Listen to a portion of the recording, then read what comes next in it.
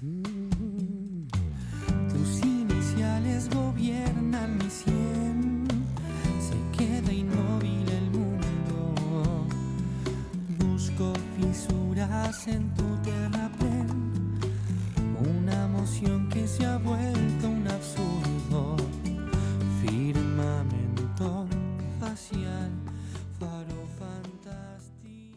La Pantera Farías realizará una exhibición en San Fernando este sábado 8 de octubre. La bicampeona y directora de la Escuela Municipal San Fernandina participará de una velada que tendrá 25 peleas en total, entre amateurs y exhibiciones de alumnos con entrada libre y gratuita. También contará con la presencia de figuras del deporte que acompañarán a la Pantera. Sí, poder eh, darle más actividad y difusión a lo que es la disciplina del boxeo, que esa es nuestra intención, ¿no? Eh, van a participar chicos de la Escuela Municipal de Boxeo de San Fernando, van a hacer su debut como boxeadores y también van a participar varios boxeadores de, distintos gimnasios de la zona norte, como Tigre Box y, varios que, traen a sus, a sus pupilos a, a pelear.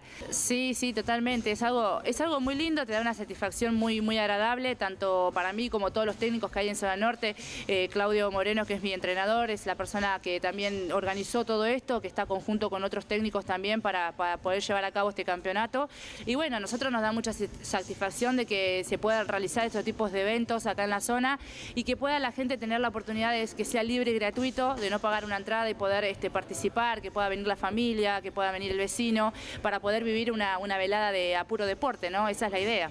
Sí, sí, sí, totalmente. Yo creo que eh, soy un referente ¿no? para los sanfernandinos, para la gente de San Fernando que, ama y que sigue este deporte, el tener un referente, el que se haga a representar los colores de, nuestro país afuera, el verte por televisión, el verte eh, ganando un título mundial y tener todos los augurios que uno va construyendo a medida de, de tu carrera es muy importante y es lo que le da a la gente eh, para que crean vos, ¿no? La gente a través de todo eso cree en, en ese atleta, en ese deportista. No solamente van a estar este, todo, todos boxeadores, va a estar la licencia número uno, la Tigresa Acuña, que va a venir a acompañarnos, sino también van a estar eh, jugadores de fútbol de Tigre. Eh, yo siempre digo, son, eh, yo sigo mucho a Tigre y los chicos también les gusta mucho el boxeo y totalmente agradecidas a ellos que puedan venir a apreciar este evento.